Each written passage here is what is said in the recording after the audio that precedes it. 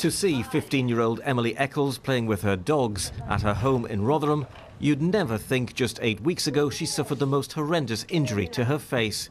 As these dramatic X-ray pictures show, her jaw and mouth were ripped off as she fell from a spooked horse, smashing her head against a post, narrowly missing a spike that could have killed her.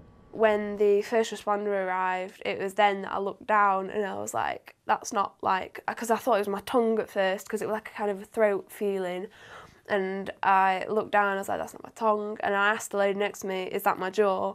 And she just looked at me and she was like, yep, that's your jaw. And I could see like teeth. And the surgeon later then said, you're one of the only people who's seen the inside of the mouth and, you know, lived. Emily was taken by ambulance to Sheffield Children's Hospital, her jaw with teeth intact hanging by a thread. It was an appalling sight for her mother. It was pretty horrific, to be honest. But I think you just go into automatic pilot and I just, yeah, tried to focus on her eyes and not show to her that how horrific it was. Thankfully, the facial surgeon on call, Mr. Ricardo Mohammed Ali, and his team was able to rebuild her smashed up face in a five and a half hour operation. You look at what you've got and you look at what you've got to build on. So you start with the hard, with the bony structure, you build mm -hmm. a mm-hmm. foundation, and then you put the the muscles, the nerves, and the skin back together. Emily was able to be back at school within a month of the accident and couldn't be happier with the way her face has been repaired.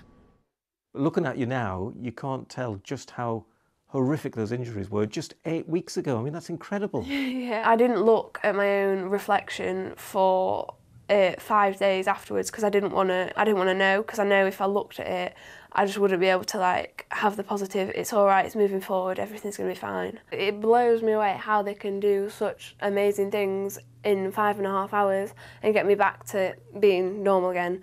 Like it's amazing. I, yeah, I can't thank Mr. Mohammed and his whole like team enough. Emily thinks her surgeon should receive an honour for the work he's done. She's already written to the Queen about him and meanwhile continues to make a remarkable recovery. Ian White, BBC Look North, Rotherham. It really is remarkable.